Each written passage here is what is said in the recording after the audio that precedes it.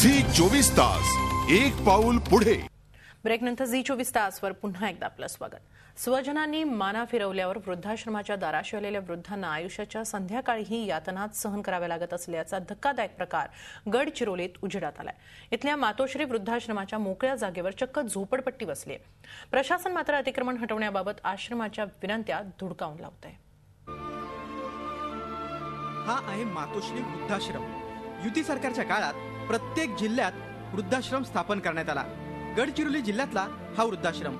स्वजनांनी नाकारल्यानंतर आधार देण्यासाठी या वृद्धाश्रमाची स्थापना करण्यात आली. मात्र या परिस्थितीतही या वृद्धांना यातना सहन कराव्या लागत आहेत. हे पहा मातृश्री वृद्धाश्रमाच्या मोकळ्या जागेत वसलेली ही झोपडपट्टी. काही झोपडपट्टी धारकांनी अवैधरित्या इथं आपल्या झोपड्या थाटल्यात. त्यांना इथून काढण्याचे अनेक प्रयत्न संस्था चालकांनी करून पाहिले. यासाठी पोलीस प्रशासन आणि जिल्हाधिकारी कार्यालयात निवेदनं देण्यात आली. मात्र अद्याप कारवाई झालेली नाही.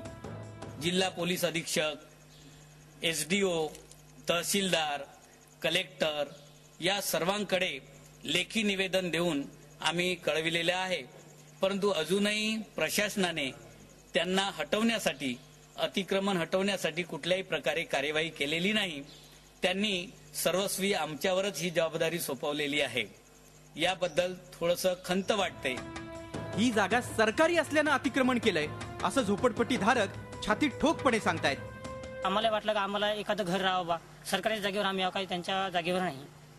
त्याच्यामुळे आम्हाला इदु- उदरनिर्वाह करण्यास- करण्यासाठी आम्ही इथं आहोत. कारण किराया राहून आम्ही तीन हजार रुपये महिना कमवतो तर आज दीड दोन हजार रुपये किराया द्यावा लागते त्याच्यामुळे आम्ही आमचं मेंटेनन्स होत नाही ना हजार रुपयामध्ये.